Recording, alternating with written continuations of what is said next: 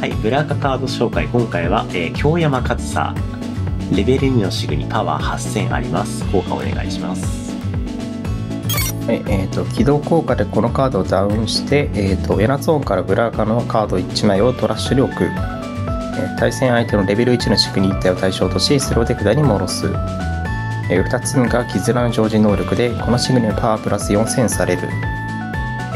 効果を起動するためにブラーカのカードや謎を1枚トラッシュに置くなので1コストで、えー相手のレベル1シグニッターをバウンスというところで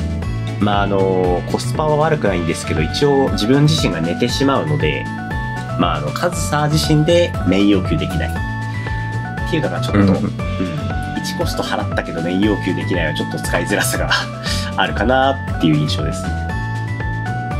まあ、ダウンして場に残るんでその場にあるシグニをコストにするような、えー、と効果を持つものが今後出てきたら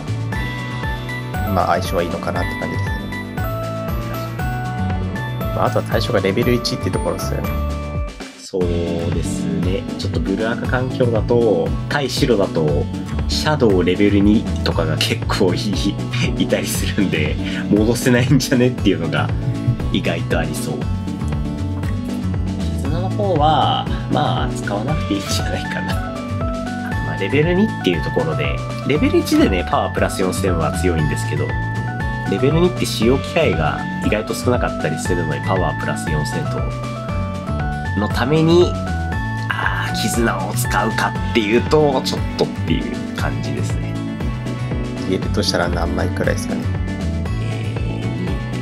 ぐらいじゃないかな。ちょっとその、白を実際作ってみたときに、点数要求意外と足りないじゃんってなったら、多分増えてくカードな気はするんですけど、多分ね、要求で足りたくなるとはいえ、多分ね、他の色のブルアカに要求持ちいるから、そっちに置き換わっちゃう気がするんだよね。